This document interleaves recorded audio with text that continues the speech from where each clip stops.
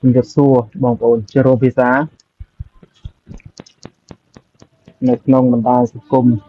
Facebook អឺចូលរួម live អឺបន្តិចហ្នឹងហើយសុខសប្បាយអត់បងនៅណាអូចូលមកនៅបវត្តឥឡូវនៅបវត្តនៅបវត្តចូលរួម live អឺរំលែកអឺ ទុកដល់ក្រៀមក្រំអឺដែលគេចោទប្រកាន់នៅទៅលើអឺក្រមអឺកិច្ចព្រមព្រៀងសន្តិភាពទីក្រុងប៉ារីស23ដុល្លារឆ្នាំ1991ដែលគេចោទប្រកាន់ដែលពាក់ព័ន្ធជាមួយនឹងជាមួយនឹងអឺក្រុមហ៊ុនណាតែនិយាយទៅវា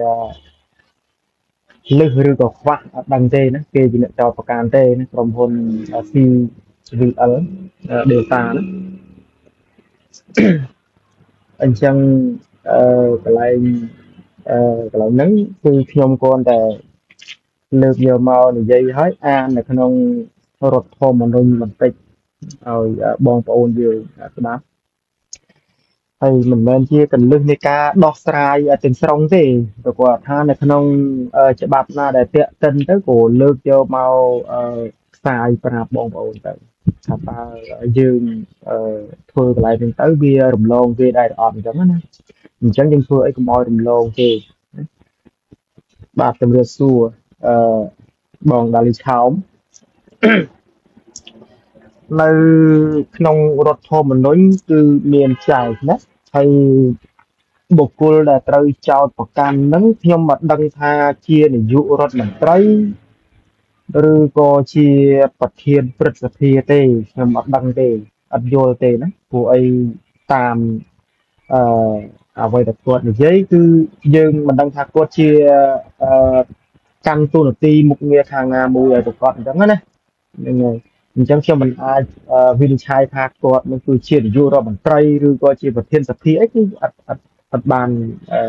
ផ្ដោតទៅលើកន្លែងនេះទេ អញ្ចឹងនៅក្នុងរដ្ឋធម្មនុញ្ញយើងនឹងគឺបានសរសេរថាបើសិនជាណាសំទោសបើជានាយករដ្ឋមន្ត្រីក៏ដោយឬក៏ជាមន្ត្រីថ្នាក់ជាន់ខ្ពស់ក៏ដោយអញ្ចឹងកន្លែងហ្នឹងបាទជំរាបសួរបងស្រីមុំកន្លែងហ្នឹងមួយបងប្អូនប្រជាពលរដ្ឋដែលគិតថាគេចោតប្រកាន់ទៅលើបុគ្គលណាម្នាក់ណា ចោតប្រកាន់ទៅលើបុគ្គលណាម្នាក់អញ្ចឹងប្រជាពលរដ្ឋហ្នឹងគឺនៅតាមខេត្តនីមួយៗហ្នឹងគឺមានចំណុចទៅដោយតំណាងរាស្ត្រណាមានមណ្ឌលតំណាងរាស្ត្រតាមខេត្តនីមួយៗហ្នឹងអញ្ចឹងកន្លែងនឹងទីសោតគឺយើងមើលឃើញថាយើងអាចស្នើទៅគាត់ណាយើងអាចស្នើទៅខាងមណ្ឌលតំណាងរាស្ត្រហ្នឹងឲ្យគាត់ជួយយើងណាព្រោះគាត់អឺ មានទូនាទីនិងឋានៈនៅតាមមណ្ឌលតំណាងរាស្ត្រនីមួយៗហ្នឹងគឺបានដោយសារតែប្រជាពលរដ្ឋយើងទាំងអស់គ្នាអញ្ចឹងណាបងប្អូនយើងអ្នកបោះឆ្នោតឲ្យគាត់ទៅគាត់ជាប់នេះឃើញទេអញ្ចឹងគាត់មានទូនាទីក្នុងការទទួលនៅពាក្យបណ្ដឹងឬឬក៏ជាសារណាមួយ ដែលប្រជាពលរដ្ឋនេះមិនពេញចិត្តណាទៅលើអឺមន្ត្រីថ្នាក់ជាន់ខ្ពស់ឬក៏ជានាយករដ្ឋមន្ត្រីណាគាត់ធ្វើខុសអីចឹងណាអញ្ចឹងកន្លែងហ្នឹងបងប្អូនយើង24ខែក្រុងចាប់ដើមអឺទៅមើលនៅក្នុងរដ្ឋធម្មនុញ្ញរបស់យើងទៅពាក់ព័ន្ធទៅនឹងចម្ពោះទី7ហ្នឹងមានណាមានមានសរសេរហើយណាមានសរសេរនៅក្នុងហ្នឹង អញ្ចឹងបងប្អូនយើងចាប់ផ្ដើមទៅសិក្សាស្វែងយល់មើលថាតើគេយកមតិប្រមាណណាទើបអឺ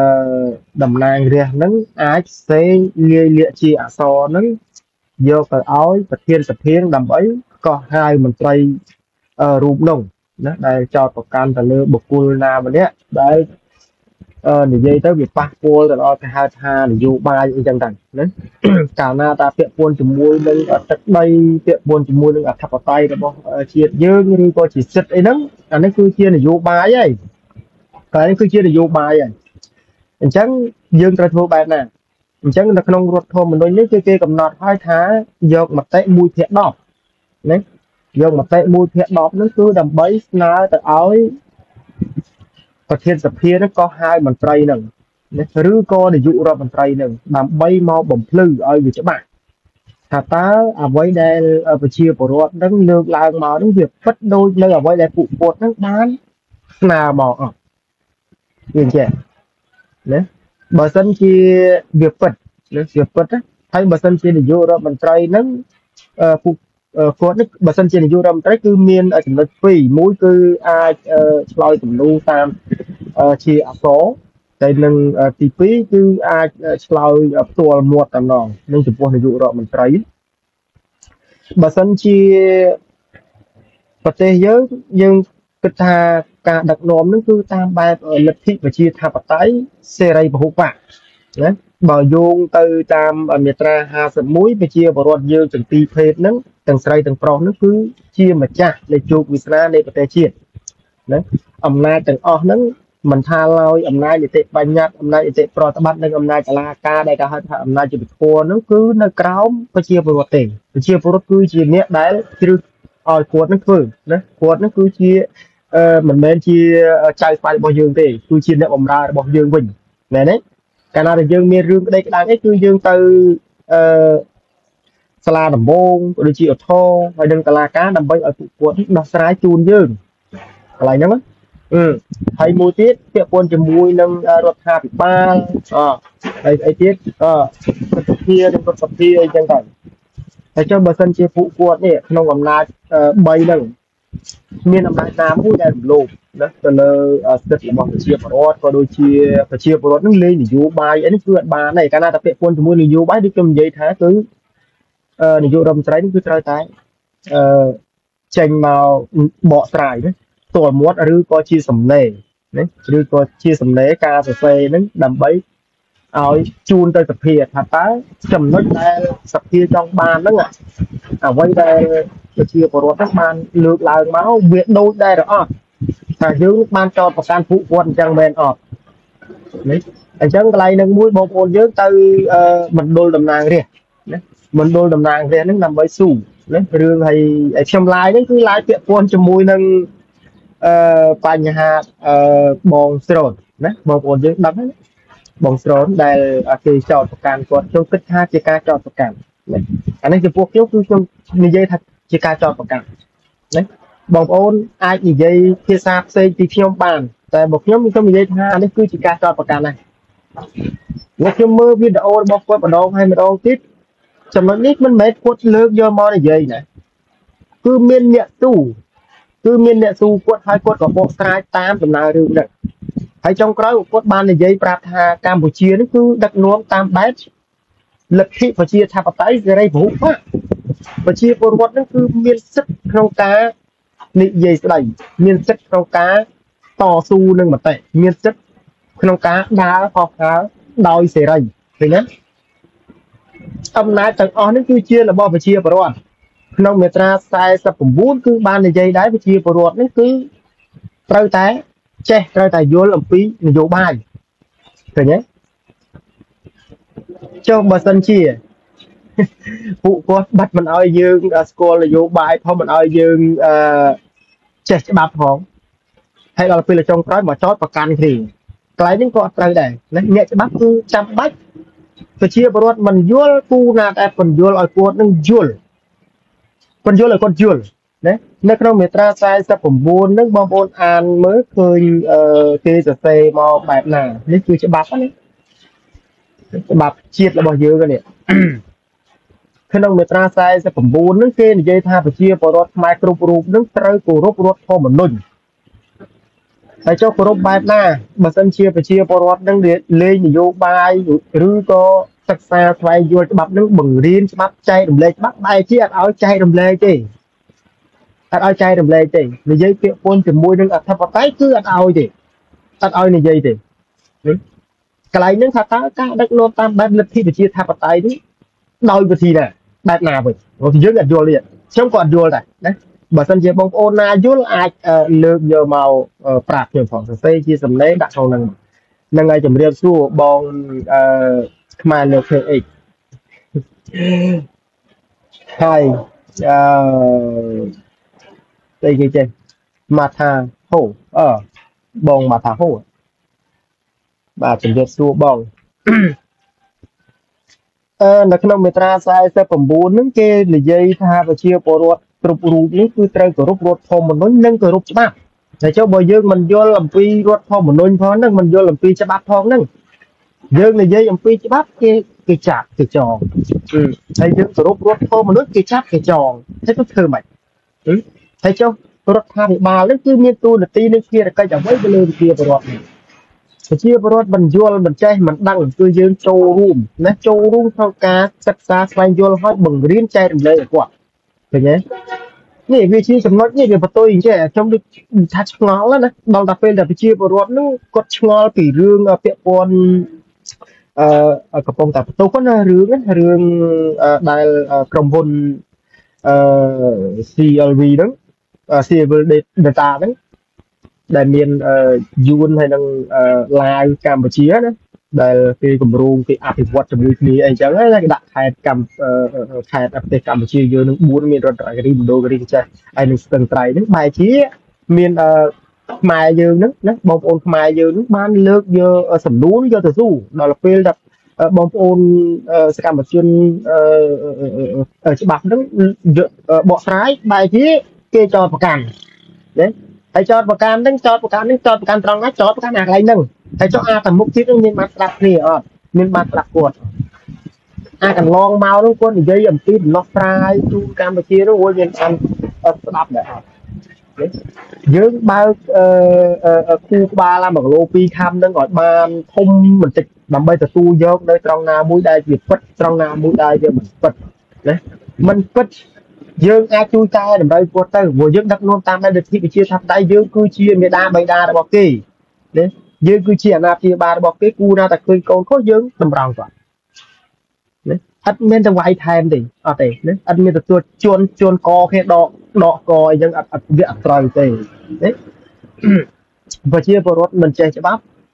តើគោរពច្បាប់ដោយរបៀបណាឃើញអត់បើយើងរៀនច្បាប់យើងសិក្សាអំពីច្បាប់យើងនិយាយអំពីច្បាប់ គេអត់ឲ្យនិយាយទេគេហាមាត់មកនេះគឺសិតសិតអាមឹងអាមឹងអីអញ្ចឹងទៅនេះខ្ញុំនិយាយតាមភាសាគាត់ទេខ្ញុំអត់បាននិយាយទេគេថាខ្ញុំនិយាយទៅព្រោះគាត់និយាយអញ្ចឹងមែនគាត់និយាយសិតសិតពួកអាច្បាប់23ដុល្លារអញ្ចឹងទៅតែបុគ្គលណានេះនិយាយខ្ញុំអត់ដឹងទេណាខ្ញុំគាត់ទៅប្រាប់បងប្អូនថាបុគ្គលនោះគឺគេនិយាយណាបុគ្គលនោះគឺគេនិយាយអញ្ចឹងតែគូណាតែលើកដូចខ្ញុំលើកឡើងពីខាងមុននេះមិញថា មុននឹងចាប់ណា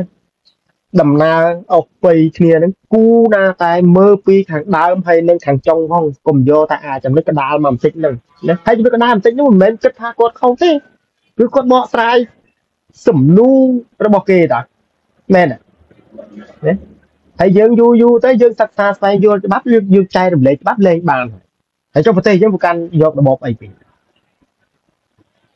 ប្រកាន់យករបបអីគេមាត្រា51និយាយច្បាស់ណាស់ណាអំណាចនេះគឺជាអំណាចរបស់ប្រជាពលរដ្ឋក៏ប៉ុន្តែអំណាចរបស់ប្រជាពលរដ្ឋក៏ពិតមែនយើងដែលជាប្រជាពលរដ្ឋហ្នឹងដែលជាម្ចាស់នៃជោគវាសនានៃប្រទេសជាតិក៏មិនអាចដើរជួនឬក៏រំលោភច្បាប់បានដែរអត់បានទេណាក្នុងមាត្រា51ហ្នឹងគេសរសេរថាព្រះរាជាណាចក្រកម្ពុជានឹងអនុវត្តណានយោបាយ ប្រជាធិបតេយ្យសេរីពហុបកឃើញទេប្រជាពលរដ្ឋខ្មែរជាម្ចាស់ជោគវាសនានៃប្រទេសជាតិរបស់ខ្លួនឃើញទេយើងប្រជាពលរដ្ឋទាំងពីរភេទហ្នឹងគឺជាម្ចាស់នៃជោគវាសនានៃប្រទេសជាតិណាក្នុងមួយនីតិកាលមួយនីតិកាលហ្នឹងគឺយើងគឺជាអ្នកសម្រេចជោគវាសនាហ្នឹងបើសិនជាយើងជ្រើសរើសតំណាងរាស្ត្រត្រូវគឺត្រូវហើយបើយើងជ្រើសរើសតំណាងរាស្ត្រខុសគឺខុសហើយណាព្រោះផ្អែកទៅតំណាងសមាមាត្រ ដោយផ្អែកទៅលើខេត្តនីមួយៗណាបេក្ខជនទៅតាមខេត្តនីមួយៗមិនអញ្ចឹងទេតាមនៅក្នុងកិច្ចព្រមព្រៀងបងប្អូនយើងសិក្សាស្វែងយល់ដឹងណានៅក្នុងចម្ពោះ3ណាណាក៏គាត់ជាយល់ហើយណាគេនិយាយអំពីការបោះឆ្នោតហ្នឹងអនៅខាងក្រោមនឹងគេសរសេរទៀតថាអំណាចទាំងអស់នឹងគឺជារបស់ប្រជាពលរដ្ឋណាប្រជាពលរដ្ឋប្រើអំណាចរបស់ខ្លួនតាមរយៈរដ្ឋសភាព្រឹទ្ធសភាឬរដ្ឋាភិបាលសាលាជំរះក្តីណារវាងអំណាច រវាងអំណាចអឺទាំងអស់នេះគឺត្រូវបែងចែកឲ្យដាច់ដលៃពីគ្នាអត់ឲ្យនៅជាមួយគ្នាទេណារវាងអំណាចទី1និងអំណាចទី2អំណាចទី3ណាអំណាចទី1គេហៅថាអំណាចតិបញ្ញត្តិនិងទី2អំណាចនីតិប្រតិបត្តិហើយអំណាចទី3គឺអំណាចតុលាការណាគឺត្រូវដាច់ចលែកពីគ្នាអញ្ចឹងទាំងអស់ហ្នឹងបងប្អូនយើងយើងចាប់ផ្ដើមជំហានដំបូងដូចខ្ញុំលើកឡើងថាវាពាក់ព័ន្ធជាមួយនឹងចម្ពោះ7គឺយើងត្រូវសិក្សាស្វែងយល់ទៅលើតំណាងរាស្ត្រ ដែលចំណងឲ្យតាមខេត្តនីមួយៗមួយនោះសិនតំណាងរាស្ត្រមិនមែនតំណាងឲ្យមណ្ឌលនៅតាមខេត្តនឹងទេគឺតំណាងឲ្យទូទាំងប្រទេសកម្ពុជា24ខេត្តក្រុងហ្នឹងណាមិនមែនតំណាងឲ្យនៅក្នុងមណ្ឌលខេត្តនឹងទេមែនទេអញ្ចឹងយើងត្រូវសិក្សាកន្លែងនេះសិនថាតើគេយកមតិប្រមាណដើម្បីលាយលាក់ជាអក្សរផ្ញើទៅឲ្យប្រធានសភា ណាដើម្បីសិក្សាមើលថាតើ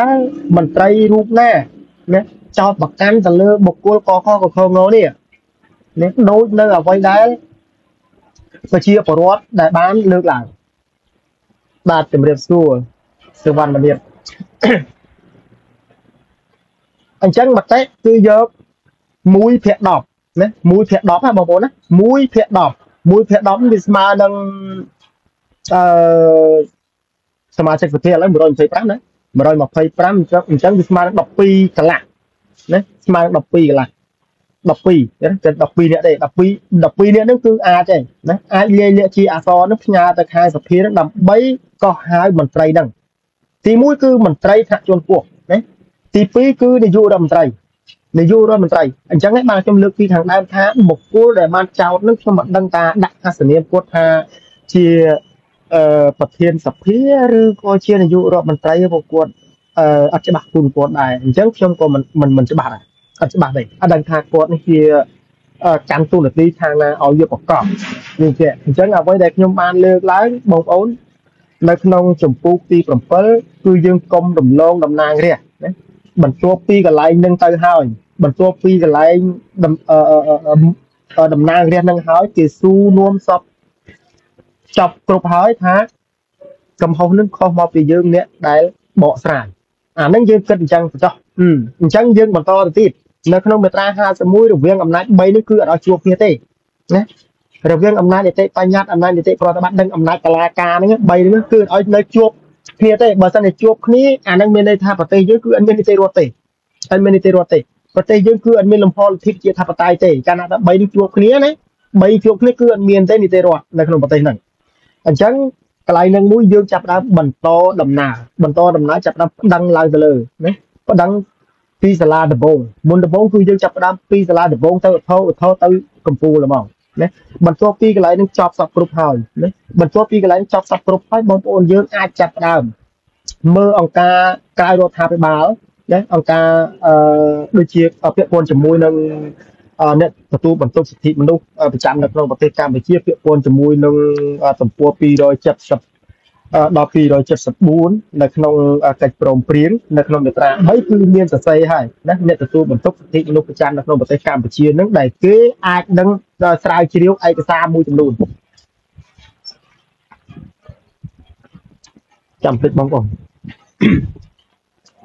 ដែលគេសិក្សាស្វែងរកឯកសារមួយចំនួននឹងផ្ញើទៅអង្គការសហប្រជាជាតិឬក៏ក្រុមប្រឹក្សាសន្តិសុខអង្គការសហប្រជាជាតិក្នុងមួយឆ្នាំនឹងគឺម្ដងណាយើងចាប់ផ្ដើមទៅស៊ូគាត់នាំគាត់កន្លែងហ្នឹងថាតើបើសិនជាណាទី1គឺខ្ញុំបានប្តឹងហើយណាពាក្យព័ន្ធជាមួយនឹងដាក់ដាក់សំណើហើយណាពីដំណើររាជមកណាទី1ទី2 ទី2គឺយើងបានប្តឹងហើយបងប្អូនយើងអ្នកដែលសិក្សាស្វែងយល់ច្បាប់ទាំងអស់គ្នាគឺមូលមតិគ្នាហើយចងគ្នាជាធ្លុងមួយចងគ្នាជាធ្លុងមួយខ្ញុំបានប្តឹងហើយដំបងឧទ្ធរនិងកំពូលក៏ប៉ុន្តែអត់មានដំណោះស្រាយទេអត់មានដំណោះស្រាយទេណាមួយម៉ាត់ណាក៏គេថាខាងគេនឹងគឺត្រូវគេត្រូវទាំងអស់ណាគេថាត្រូវអញ្ចឹងណាអញ្ចឹងឲ្យពួកគាត់នឹងជួយណានឹងសម្រាប់ដំណោះស្រាយទី2ណាទី2ទី3 ក៏ក៏ប៉ុន្តែកុំភ្លេចអង្គការក្រៅរដ្ឋាភិបាលផងណាអង្គការក្រៅរដ្ឋាភិបាលដូចជាអាតូកដូចជាលីកាដូដែលពួកគាត់គឺសកម្មលីកាដូហ្នឹងគឺសកម្មហើយការនិយាយស្ដីរបស់គេគឺស្រួលនិយាយស្ដាប់គ្នាបានបងប្អូនណាអាចនៅភ្នំពេញនៅបឹងកបែកនៃបងប្អូនអាចទៅជួបបានណាបើមិនជាស្គាល់ទេខ្ញុំឲ្យលេខទូរស័ព្ទបានណាអឺដូចជាអឺចែកការចែកអីនោះគឺយើងត្រូវតែ you set you អីនោះគឺយើងត្រូវតែទំនាក់ទំនងទៅព្រោះពួកគាត់សិតតែអឺ លើកស្ទួយសិទ្ធិមនុស្សទេណាពួកគាត់ណាអញ្ចឹងអាហ្នឹងគឺជាជំហានជំហានទី2អញ្ចឹងជំហានទី3គឺយើងចាប់ផ្ដើមផ្ញើសារតាមស្ថានទូតណាផ្ញើសារតាមស្ថានទូតហេតុអីបានយើងផ្ញើសារតាមស្ថានទូតព្រោះដែលយើងមើលសកម្មជនដែលសិក្សាស្វែងយល់ហើយគេចោទប្រកាន់ហ្នឹងគឺគាត់គឺជាសកម្មជនខាងកិច្ចព្រមព្រៀងអញ្ចឹងក្នុងកិច្ចព្រមព្រៀងទូថាមាននរណាខ្លះចុះហត្ថលេខាលើហ្នឹង អញ្ចឹងប្រទេសទាំងអស់ដែលមកដាក់ទូតនៅក្នុងប្រទេសកម្ពុជាគឺយើងអាចទី1គឺយើងអាចសរសេរជាសំឡេងរួចផ្ញើតាម Gmail ទៅគាត់ណានឹងទី1ទី2គឺបងប្អូនសំណេរឬក៏មានលទ្ធភាពនិងសមត្ថភាពអាចទៅជួបផ្ទាល់ក៏ប៉ុន្តែកុំទៅកុំទៅម្នាក់ណាទៅយើងដើរបាន3នាក់យ៉ាងតិចក៏2នាក់ដែរណាទៅស្ថានទូតទាំងអស់ហ្នឹងគឺយើងដើរពី2នាក់ទៅ3នាក់ឬក៏5នាក់អីចឹងទៅណាទៅដល់ដល់នេះគឺយើងចេះ ដាក់មូគេណាទូទូឲ្យអស់ធ្វើមិននៅក្នុងកិច្ចព្រមព្រៀងហ្នឹងហើយអ្វីដែលយើងបកស្រាយពាក់ព័ន្ធជាមួយនឹងអធិបតេយ្យដែនទឹកដែនគោកនិងអាកាសរបស់កម្ពុជាហ្នឹងហើយមានគេចោទប្រកាន់ថាតើអានឹងវាវាប៉ះពាល់អីខ្លះទៅដល់សិទ្ធិរបស់ប្រជាពលរដ្ឋហ្នឹងមកយើងបានសិក្សាស្វែងយល់អំពីច្បាប់វាមិនទៅទោះអីទេអត់មានខុសអីទេណាយើងមានហើយណាក្រមសីលធម៌និងសុជីវធម៌អីនេះគឺយើងមានហើយក៏ប៉ុន្តែ អ្វីដែលយើងចាប់អឺมันអាចសម្លឹងឃើញហ្នឹងគឺគេលៀបពោយើងកន្លែងហ្នឹងសូមឲ្យពួកគាត់នឹងជួយណាមើលថាតើវាខុសឬក៏វាត្រូវណាជួយបំភ្លឺយើងណាអញ្ចឹងយើងដាក់ណាសំណើនឹងតែគាត់ទៅសរសេរជាសំឡេងក៏ដោយឬក៏ការនិយាយតាមបបោមាត់របស់យើងក៏ដោយសំខាន់ឲ្យតែពួកគាត់នឹងយល់ណាដើម្បីឲ្យជួយអន្តរាគមន៍បានទាន់ពេលវេលាព្រោះអីរឿងនេះវា វាធំណារឿងនេះបើមកខ្ញុំមើលទៅគឺវាធំកំឡុងពេលនេះគឺធំតែបើសិនជាប្រហែល2ខែមុនអានឹងមិនធំទេកំឡុងពេលឥឡូវគឺធំទៅមានរឿងច្រើនរឿងច្រើននៅក្នុងប្រទេសបងប្អូនយើងតាមដានមើលនៅក្នុងប្រទេសបច្ចុប្បន្នហ្នឹងបច្ចុប្បន្នភាពនេះគឺមានច្រើនណាស់រឿងមានតាំងពីប្រេជីហ្វូឡនមានតាំងពីការអឺចាប់សកម្មជនប្រៃឈើមានតាំងពីការធ្វើទុកបុកម្នេញប្រជាពលរដ្ឋ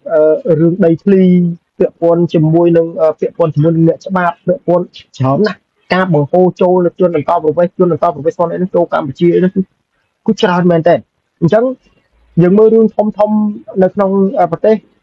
ដូចជារឿងប្រេជីប៊ូណនហ្នឹងអាហ្នឹងក៏ជារឿងធំណាស់ណាមិនមែនជារឿងតូចទេតែដូចជារឿងសកម្មជនមេដាធម្មជាតិអីហ្នឹងពាក់ព័ន្ធជាមួយនឹងប្រធានសហជីពនេះគឺមិនទាន់ដោះស្រាយរួចទេគឺនៅក្នុងគុកទាំងអស់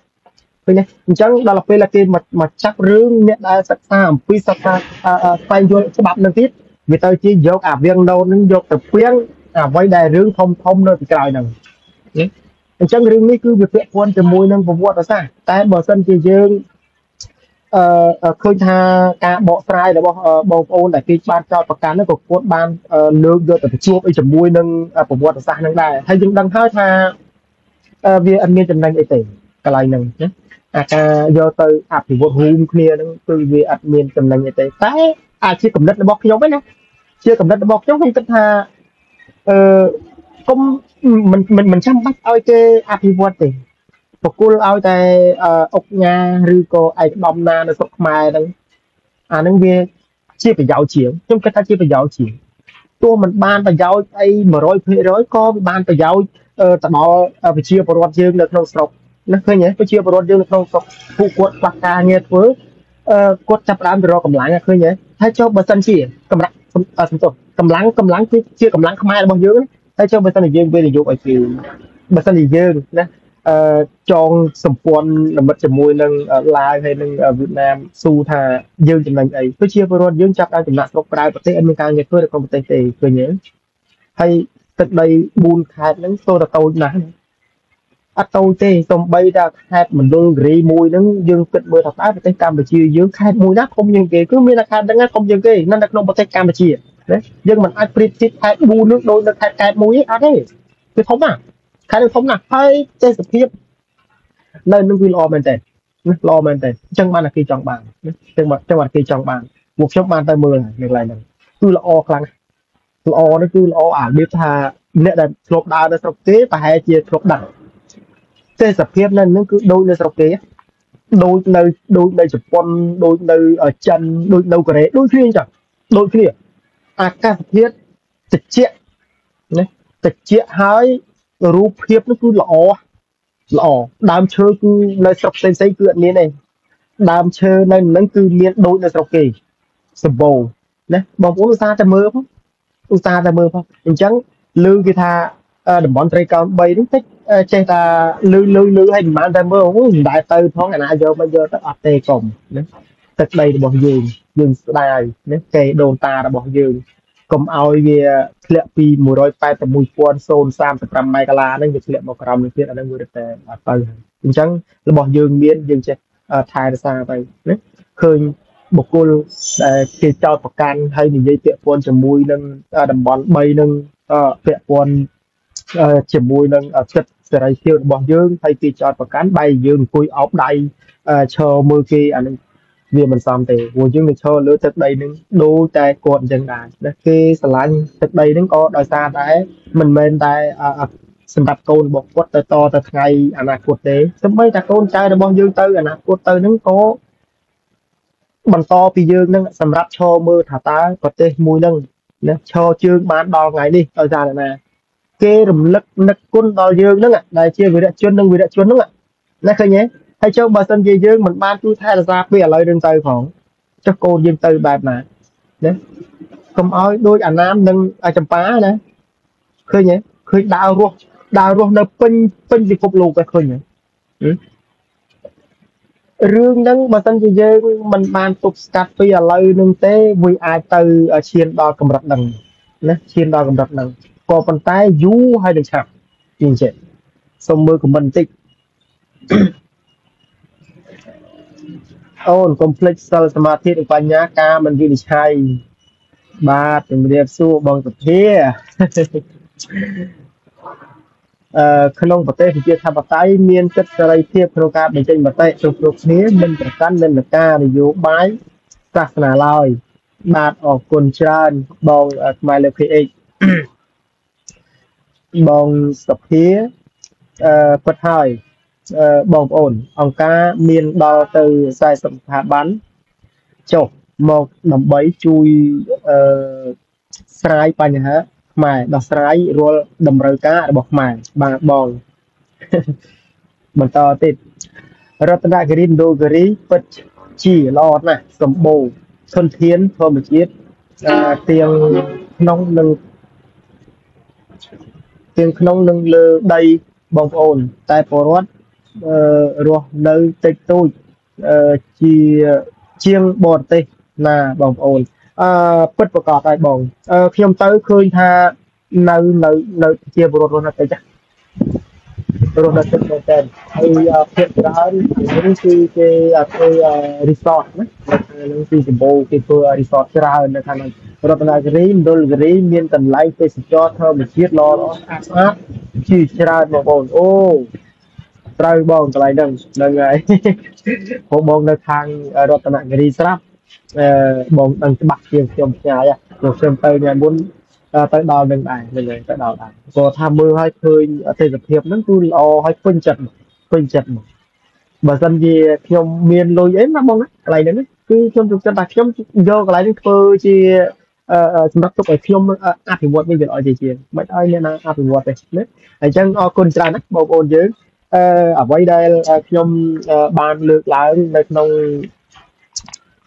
មាត្រា96បងប្អូនណាហើយអញ្ចឹងអឺនៅក្នុងហ្នឹងអត់ឃើញទេណាមតិគេយក1ភាគ10ហ្នឹងមើលឃើញទេបងប្អូនយើងមើលនៅខាងលើបន្ទាប់ហ្នឹងមកឃើញហើយណាមើលនៅខាងលើបន្ទាប់ហ្នឹងមកឃើញតែខ្ញុំនិយាយថាគេយក1ភាគ10ហ្នឹងត្រង់ណាថាគេយក1ភាគ10 បងប្អូនមើលនៅក្នុងមាត្រា5សំទុះមាត្រា95ហ្នឹងមកអាចមើលឃើញណា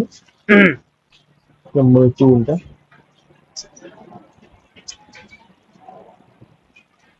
មាត្រា96មាត្រា96ដំណើររឿងលោកគិតដាក់ចំណាំពោ